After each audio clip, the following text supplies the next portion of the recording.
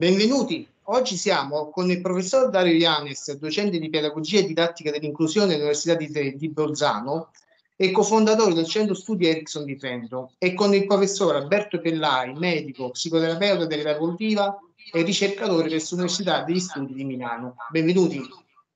Grazie. Oggi parliamo di guerra e di come parlare, con, come dirlo ai bambini e adolescenti questo volume edito dalla, dalla Ericsson, scritto a quattro mani con il professor Vicari e la professoressa Lucangeli. E innanzitutto io chiederei al professor Ianes come è nata l'idea di scrivere questo volume. Allora, è nata, è nata da Vicari, eh, da Vicari col quale avevamo fatto, eh, dopo il Covid, un altro libro di, di valutazione, insomma, di analisi eh, di, quello che era, di quello che era successo. E allora sulla base di quello uh, lui dice dai coinvolgiamo Daniela, Alberto, insomma cerchiamo di fare una, uh, un instant book diciamo che, mh, mm, che, aiuti gli educatori, aiuti gli insegnanti, i genitori insomma a trovare le parole giuste, le modalità giuste per, per non fuggire diciamo dalla, dal, dal, ruolo educativo, insomma dal ruolo importantissimo che, eh, che tutti abbiamo e, e allora è nato, è nato, così, allora ci siamo coinvolti tutti a tempo, tempo di record, diciamo, in modo che eh, poi insomma abbiamo eh, fatto questo che tra l'altro ha già un bel riscontro, insomma, per cui siamo, siamo contenti ecco, di avere colto al volo l'invito di Vicari. Sì, poi in apertura avete anche una bella intervista alla senatrice Liliana Segre, che comunque lei ha vissuto quella più brutta di quella. Beh, certo, c'è un testimone fondamentale, no? Chiaro. Ecco, professor Pellai, eh, entriamo nel vivo di, di, questo volume. Lei parla di, eh, delle differenze tra adolescenti e bambini, quindi diciamo un approccio di, nel modo in cui parlare ai ragazzi. Ecco, eh, noi bambini abbiamo una fase eteronoma che li porta verso l'autonomia. Quali sono gli aspetti cruciali di questi due aspetti? Mm.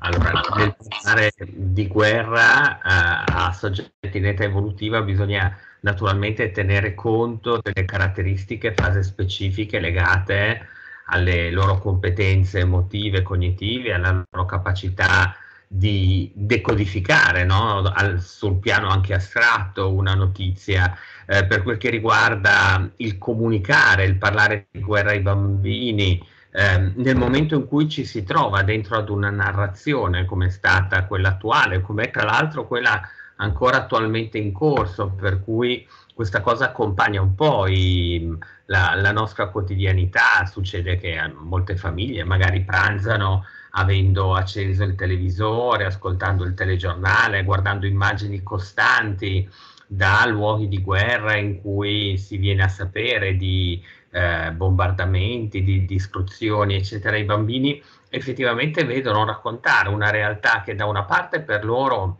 è incomprensibile, no? vivendo in un luogo dove si sono protetti al sicuro, sentendo la vicinanza protettiva che gli adulti mettono all'interno della loro vita, per loro questa potrebbe essere una narrazione fantastica di qualcosa che non c'è, ma poi vedendo invece la preoccupazione costante dei loro adulti di riferimento, vedendo come nei discorsi degli adulti, e questo è stato molto vero soprattutto nelle prime settimane, in cui la guerra si è manifestata, ecco che quell'ansia e quella preoccupazione che avvertono nelle narrazioni dei media e poi nel dialogo e nel discorso delle loro figure di riferimento da fuori di loro entra dentro di loro. E siccome i bambini piccoli non hanno la capacità di poi astrarre eh, di usare un pensiero astratto, di lo- geolocalizzare un evento, no? quella cosa lì con quel genere di immagine che è un genere di immagine che in realtà fa un vero e proprio attentato ai codici della loro sicurezza emotiva,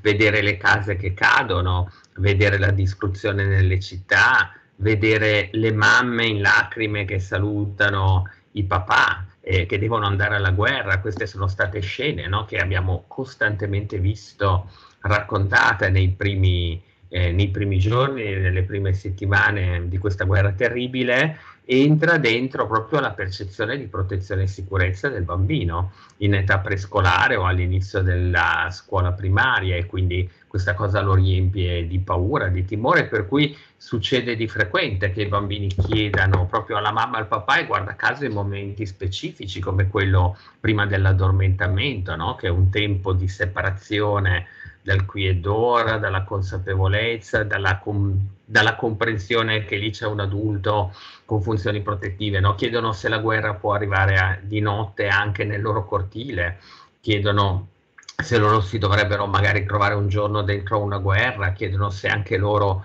ma a loro potrebbe succedere di dover fuggire dalla, dal loro paese, dalla loro casa per andare in un luogo che fornisce a loro protezione e sicurezza. Chiaramente per gli adolescenti la questione è diversa, noi abbiamo la possibilità di fare ricorso a una mente che è capace di produrre un pensiero logico astratto, con loro possiamo davvero eh, lavorare invece e comprendere le ragioni di questa guerra e da qualcosa che succede nel macrosistema, nel mondo, poi fare molte più riflessioni che hanno anche a che fare con la loro quotidianità, cosa significa invadere un territorio, non rispettare una posizione di maggior fragilità e vulnerabilità, usare la potenza e la prepotenza invece della competenza, ricorrere alla forza e alla violenza invece che alla diplomazia.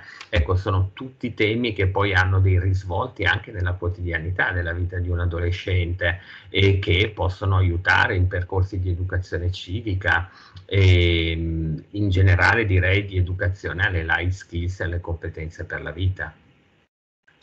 Ecco, eh, il professor Perlai parlava del ruolo dell'adulto, eh, quindi oltre alla famiglia anche gli insegnanti.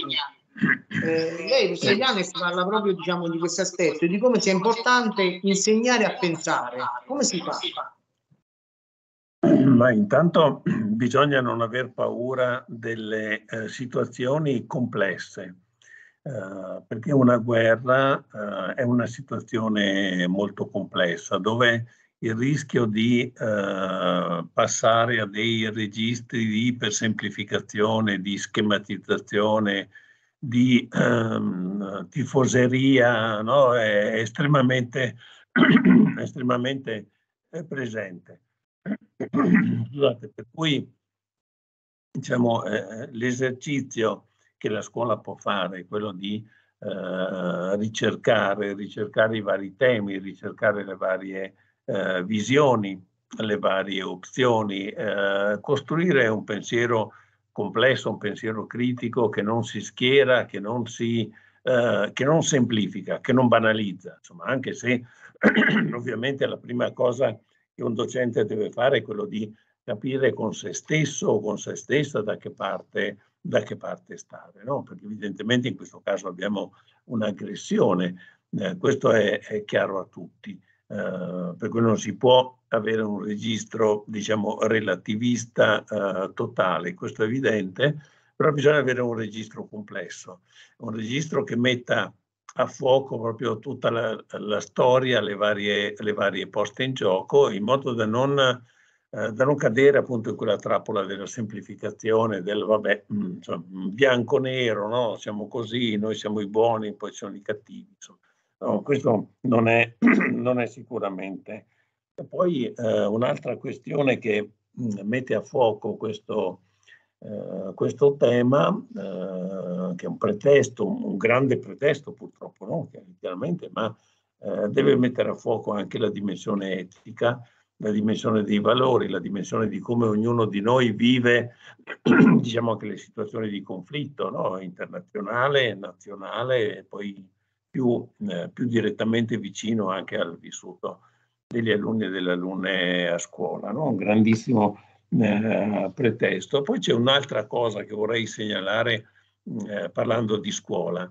Eh, a scuola gli alunni e le alunne vedono degli adulti, vedono degli adulti e li devono vedere, secondo me, secondo noi, come eh, adulti che vogliono capire, che vogliono cercare, che vogliono studiare, che non sono apodittici, non sono schematici, ma sono sempre in ricerca comunque di una, di una soluzione diversa, di un pensiero laterale, di un negoziato, di una comunicazione. No, insomma, sono alla ricerca anche a eh, stare positivamente nell'ignoranza no? del, del, capire. Mi ricordo quando proprio con Alberto abbiamo fatto un altro libro, parlare di ISIS ai bambini, no? ti ricordi Alberto questo? No? Che era il momento anche lì, no? dove oddio, ma ci sono i terroristi, ma ci sono, arrivano, no? Ehm, arrivano da noi, cioè lì c'era un'altra preoccupazione, ma allora anche lì abbiamo eh, sostenuto sempre questa idea no? del, dell'insegnante modello di ricerca, modello di uh, approfondimento, eh, modello di stare in continuo, in continua analisi, in continua, in continua ricerca. Questo era, un altro, era un'altra emergenza, era un altro periodo, insomma, però i temi educativi sono chiaramente gli stessi. Ecco, uh, professor Pellai, eh, c'è una questione che riguarda eh, come spiegare eh, le nostre emozioni ai, ai, bambini e ai ragazzi, quindi eh, la paura che viviamo, l'angoscia eh, delle notizie che, così mm, pesanti che viviamo quotidianamente. Ecco, non siamo riusciti neanche a uscire dal Covid che ci siamo ritrovati all'interno della guerra. E come i ragazzi assorbono queste nostre emozioni?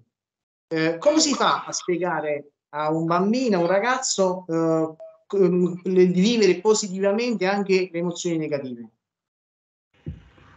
Ma intanto testimoniando proprio con la nostra adultità che eh, nella vita non tutto no? può essere previsto, può essere tenuto sotto controllo, eh, la vita accade. Ecco, e quello che cercano eh, fondamentalmente bambini e bambine, ragazzi e ragazze nella relazione con l'adulto non è un punto vago con la bacchetta magica che annulla gli effetti negativi degli eventi avversi, ma è un adulto competente che dentro alla realtà sta accadendo ti fornisce un modello che non è il modello del resistente, cioè di quello che non si rompe per cosa accade, bensì il modello del resiliente, cioè del soggetto che dentro alle cose che accadono trova una sua modalità per rimanere in contatto con se stesso, in contatto con gli altri e soprattutto per tenere alto lo sguardo. Credo che la cosa che sia servita, che è servita di più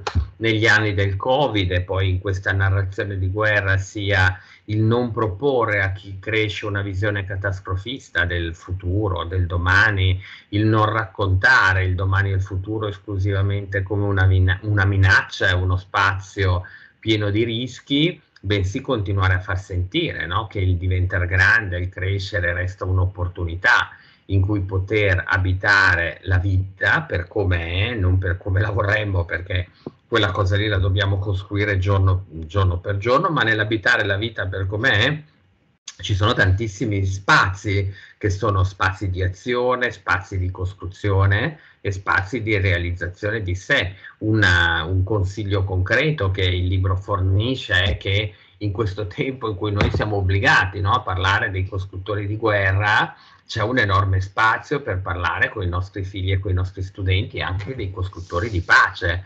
C'è un'enorme possibilità di mettere il focus anche su tutto quel mondo, milioni di persone che per costruire la pace, per costruire la guerra. In effetti questo è un lavoro necessario da fare in una prospettiva educativa, no? parlando con bambini e bambine vi hanno detto ma se noi mettessimo su una bilancia a due piatti quante notizie, informazioni, immagini avete avuto sulla distruzione che la guerra par- porta e quante invece notizie, immagini e suggestioni avete avuto su chi costruisce la pace mentre c'è la guerra. Come andrebbero questi due piatti della bilancia? No? È chiarissimo che questa cosa in questo momento è incredibilmente sbilanciata perché l'unica cosa che arriva è la narrazione della guerra, della distruzione e della catastrofe imminente. No? questo direi è un modo poi di narrare tantissimo la vita e il mondo a chi cresce, no? il, il, pianeta eh, che è in un allarme continuo. Gli allarmi sono importantissimi, ma gli allarmi dovrebbero servire a chi ha potere d'azione per poterli gestire, cioè il mondo adulto, dopodiché l'allarme deve costantemente diventare un messaggio di cosa davvero è possibile fare, qual è il potere d'azione che serve, qual è lo spazio di formazione di competenza che è necessario acquisire. Questo è il genere di messaggi che noi dobbiamo dare ai ragazzi. Quindi, ritornando alla, dom- alla domanda, fondamentalmente noi non sfuggiamo alle regole della teoria dell'attaccamento di Bolby, cioè l'adulto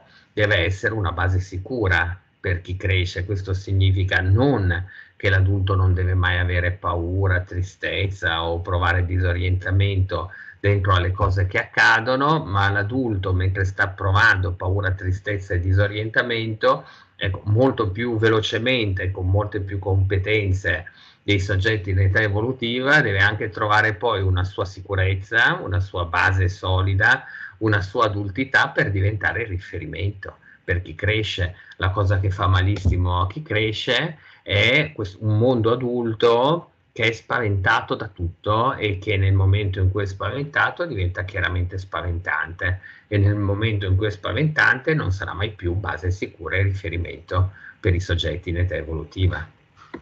Ecco, professor Perlai, lei prima parlava anche di life skills.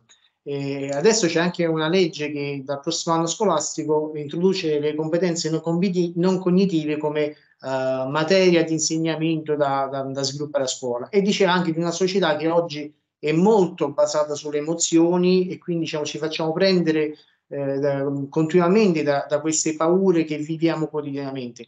Quanto è importante eh, educare i bambini questa, nella fase di sviluppo a sviluppare e consolidare queste competenze non cognitive? Ma direi che questo significa educare il saper essere, che è fondamentale, lo troviamo alla base un po', un po di tutto il successo delle, delle, nostre vite. Non è tanto quello che sappiamo, il sapere o il saper fare, ma è il saper essere quello che ci permette poi di rendere il nostro sapere e saper fare fertile e generativo all'interno della nostra vita e delle nostre professioni. È chiaro che il saper essere è fatto di variabili, dimensioni e competenze che non stanno dentro a una materia o a un curriculum cognitivo, ma stanno dentro a una mh, mm, progettazione educativa in cui sento che ti devo formare anche come persona e non solo come portatore di un sapere, di abilità e competenze. La consapevolezza emotiva è una risorsa enorme e straordinaria per la nostra vita chiaramente essendo uno psicoterapeuta non posso che dire questo perché è alla base un po' anche di tutto quello che noi cerchiamo poi di raggiungere con i pazienti che ci, ci chiedono aiuto, però fondamentalmente questo è quel dilemma no, che ogni giorno abbiamo nelle nostre vite in cui da una parte il nostro cervello emotivo ci fa sentire la vita, ci attiva sul fronte emotivo, dall'altra parte il nostro cervello cognitivo deve entrare in contatto, in, deve parlare al cervello emotivo no? e deve permettere al cervello emotivo di dare senso a quello che sta provando, ma anche di individuare quei significati e quelle competenze autoregolative per cui io non mi trasformo in una zattera in balia delle tempeste emotive, ma dentro quelle tempeste emotive trovo dentro di me le risorse che sono necessarie a saper affrontare ecco, la tempesta che magari non avevo previsto, ma che nella vita poi eh, può accadere. Ora, queste cose sono predisposte dentro il nostro funzionamento mentale. Noi abbiamo la possibilità e la capacità di costruire reti neuronali integrative tra parte emotiva e parte cognitiva del nostro cervello, ma questa fioritura di reti neuronali non avviene in modo eh, spontaneo, così automatico, no? avviene in, nelle diverse fasi dello sviluppo in funzione della qualità delle relazioni che viviamo e chiaramente anche delle esperienze in cui veniamo coinvolti e certamente anche del progetto educativo che gli adulti ci mettono a disposizione. Quindi avere questo focus e questa attenzione molto forte anche molto forte anche sulle abilità per la vita, su come si apprendono, su come si educano, su come si formano nelle diverse fasi del, del percorso evolutivo dei nostri bambini e bambine, ragazze e ragazze, eh, rimane davvero un, un, una, un, un, elemento di fondamentale importanza ed è molto, molto, cosa molto buona e giusta che il MIUR l'abbia resa una delle pratiche, ecco, delle priorità da rimettere al centro della progettazione educativa anche in ambito scolastico a partire dal prossimo anno. Ecco, professor Pellai, quindi parlavamo appunto diciamo, di, di come si educa eh, all'interno anche della scuola su vari argomenti, tra cui proprio parlare di guerra, lei diceva di prepararsi. Eh, prepararsi sia sull'argomento, ma voi suggerite anche eh, delle metodologie da, da, utilizzare per essere più incisivi all'interno della classe. Ci aiuta con qualche suggerimento? Ma direi che in generale, no? Questi i temi che poi noi portiamo, i metodi e i temi che noi portiamo all'interno della vita di classe sono quelli che mediamo dalle tecniche di educazione emotiva, quindi da una parte il metodo del circle time, che è un metodo che permette alla classe di viversi come un gruppo che è in ascolto e in dialogo intorno a temi che possono essere temi anche molto attivanti e eh, rispetto ai quali ognuno ha la possibilità di raccontarsi e di collocarsi e in cui in realtà il docente non è più lì con il ruolo di docente, ma è semplicemente con il ruolo di tutor eh, che facilita la, il, il processo di dialogo e di ascolto all'interno di un gruppo classe. Poi direi intorno a temi no? che sono così attivanti dal punto di vista emotivo, abbiamo la possibilità di introdurre anche delle tecniche di lavoro di natura psicocorporea,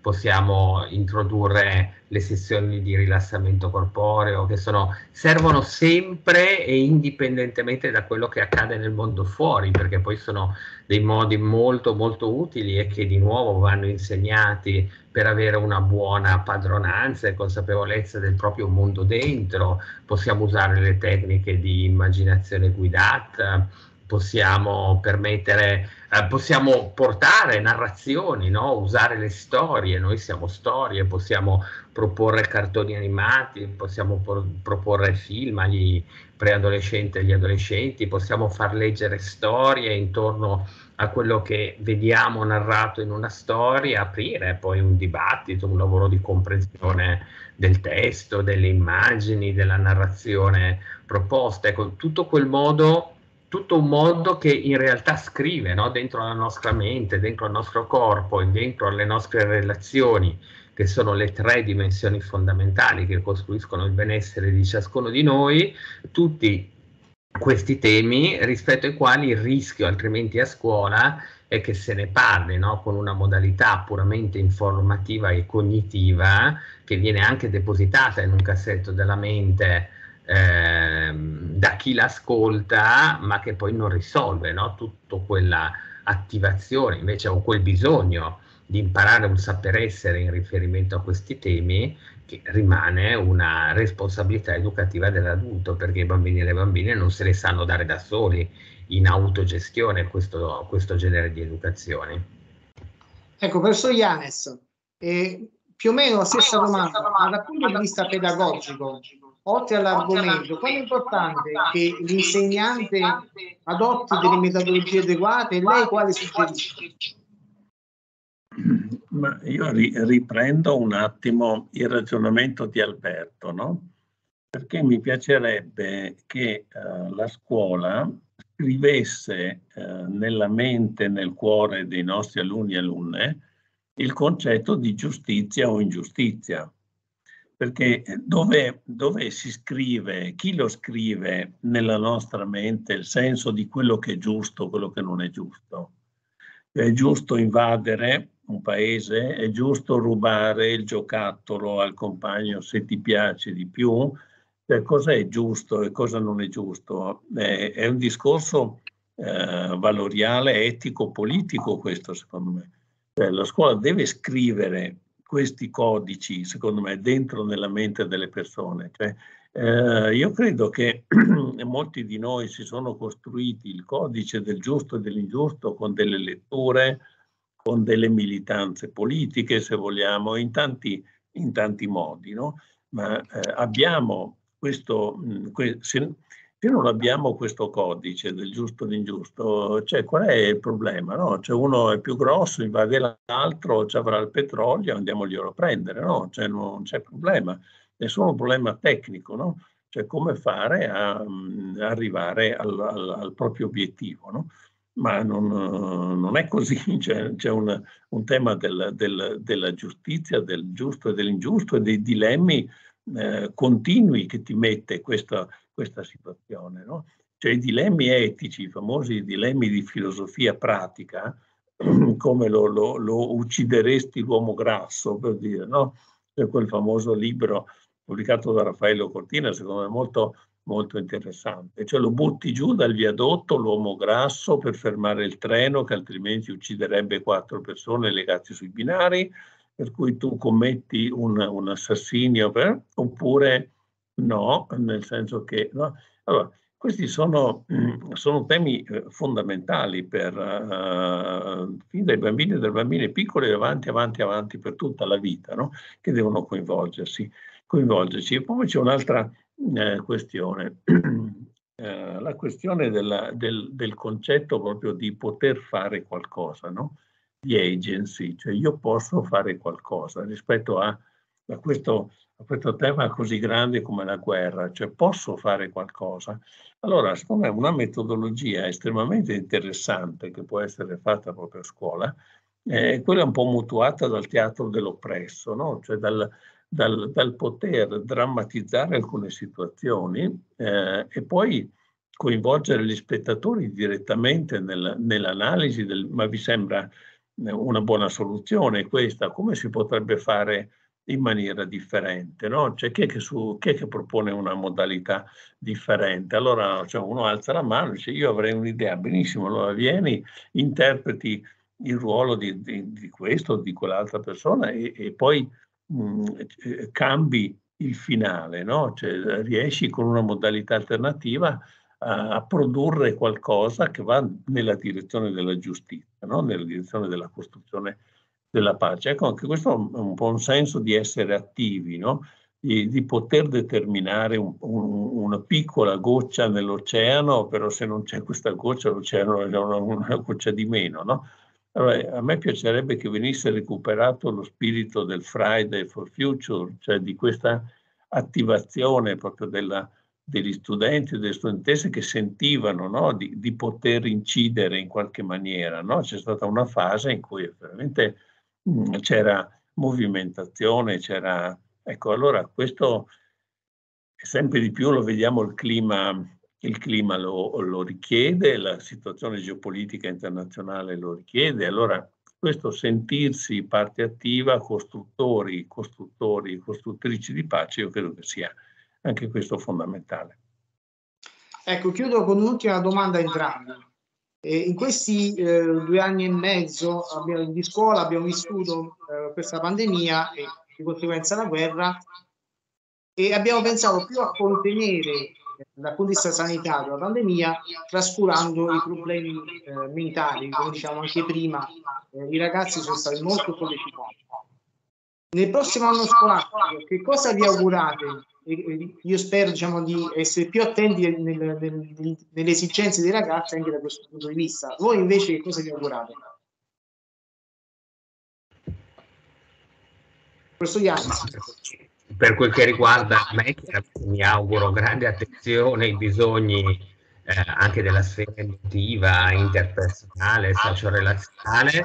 Secondo me mh, mm, bisognerebbe partire proprio da una scuola che ha intenzione di rimettere i suoi studenti al centro del percorso formativo invece che mettere l'attenzione alla pandemia al centro. No? Questo significa, e ce lo auguriamo, dove il distanziamento, il mascheramento non saranno più necessari e soprattutto una scuola finalmente ritorna fuori al mondo, cioè vede più il mondo come un luogo all'interno del quale si possono solo eh, incontrare il rischio, possono affrontare con il rischio, ma il mondo come un luogo da esplorare, da conoscere, all'interno del quale fare incontri e fare esplorazioni.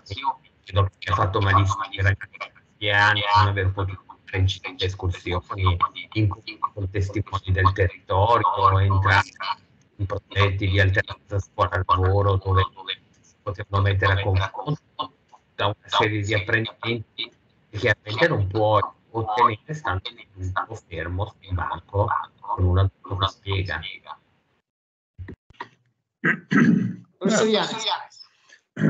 Io mi augurerei che i docenti della scuola eh, non facessero, eh, non pensassero che le life skills, le competenze non cognitive, tra virgolette, eh, eh, fossero una specie di materia, una cosa che come l'educazione civica, no? infiliamo di qua e di là, cioè insomma no, eh, la sviliamo, ma che pensassero a come rendersi loro direttamente attori di life skills dentro la loro ordinaria attività. Perché è assurdo che uno mi faccia un'unità sull'empatia e sul qualcosa, cioè dei giochetti di ruolo sull'empatia, quando dopo io gli chiedo delle cose come studente e non mi ascolta.